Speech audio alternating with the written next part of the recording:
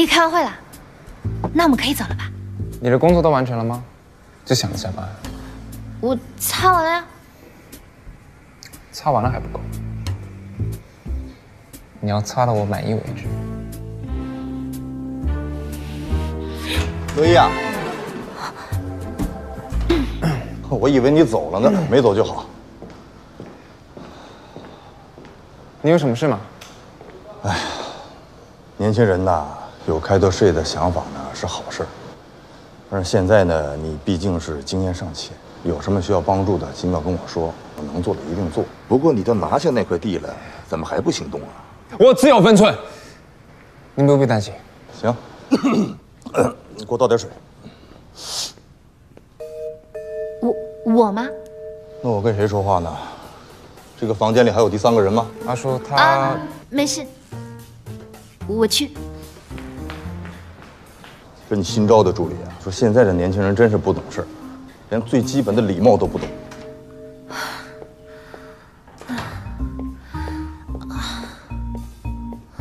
累死我了。对了，前辈，你说小副总他们在聊啥？以我在富士八年的经验，刚才副总大发雷霆。虽然小副总跟副经理现在不对付，但是我觉得他应该需要副经理帮他说几句话。这一下小副总应该在求复兴，对不对？看来是个很难搞但又很重要的客户。要是我搞砸了，就能顺理成章的被开除了。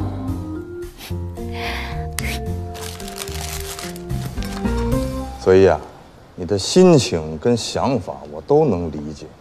你现在是不是还想着我这个做？啊啊 对不起，对不起，对不起。这是怎么还不生气？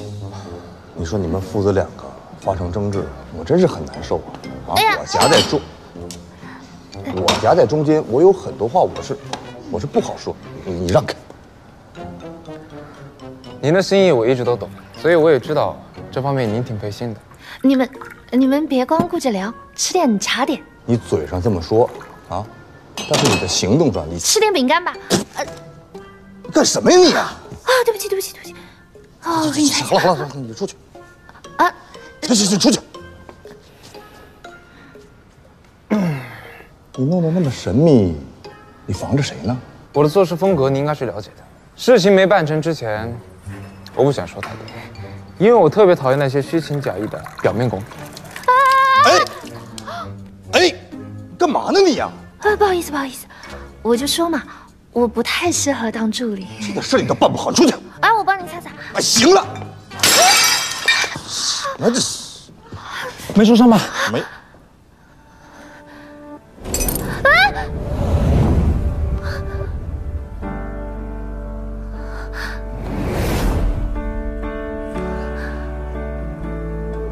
你想说什么就直说，用不着拐弯抹角，免得伤及无辜。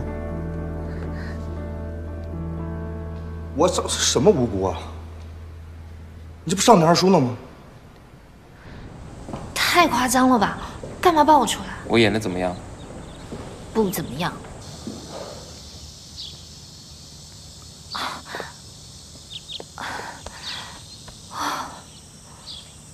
你没受伤，又不是开水，一点点烫伤而已。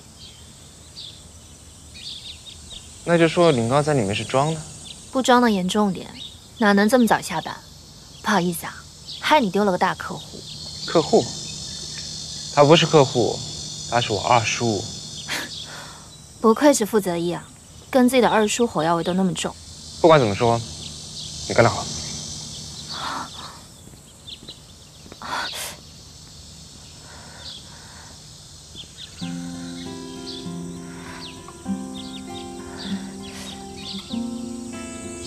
这样吧，明天你休息一天。真的？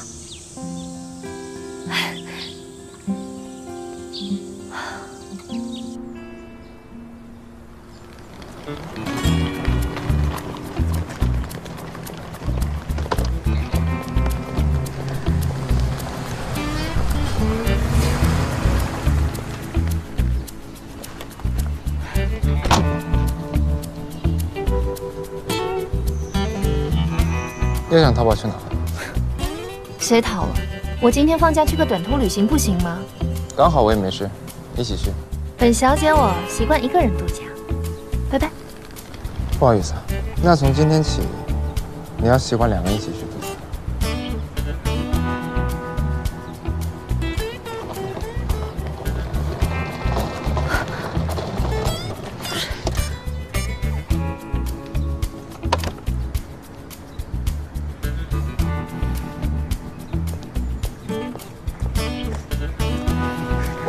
放假缠着我，傅曾一到底怎么回事？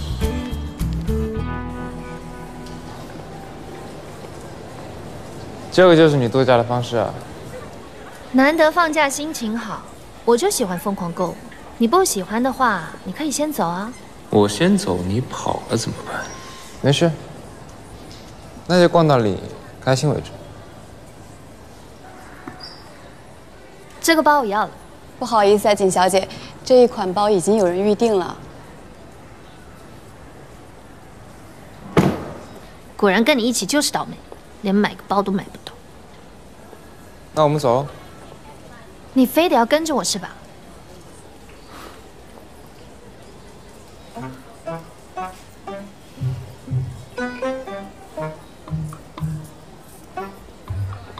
带上你也不是不行，那你得付我导游费。可以啊，今天所有的费用我买单。肚子饿了，去吃饭吧。欢迎下次光临。我要这份牛排，然后一个披萨，我要这个、这个、这个，还有这个。你点这么多，你吃得完吗？帮我和大家说，各位，这位小姐说，请全餐厅的人吃饭。谢谢。谢谢。谢谢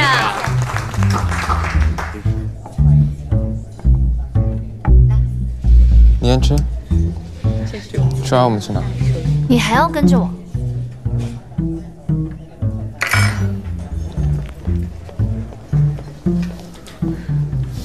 去哪？我要去洗手间，你要跟我一起牵手去吗？像女高中生那样。怎么了？你怎么了？哎，怎么了？醒醒啊！怎么了这是？大家不要围观，让空气流通一点。听见没，听见没，不要围观，谢谢，谢谢，让开。他应该是新哥，你有弹药吗？没有，就是出来吃个饭。